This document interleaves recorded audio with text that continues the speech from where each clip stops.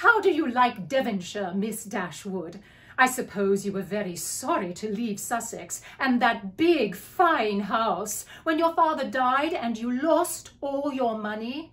And you had a great many smart beaux there, or there may be a vast many smart beaux in Exeter, I'm sure, but Lord knows if I can tell what beaux there might be about Norland. And perhaps the Miss Dashwoods might find it dull here if they do not have so many as they used to have. But perhaps you two do not care about the beaux, and had as lief be without.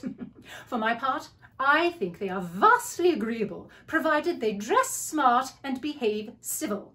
I can't bear to see them dirty and nasty.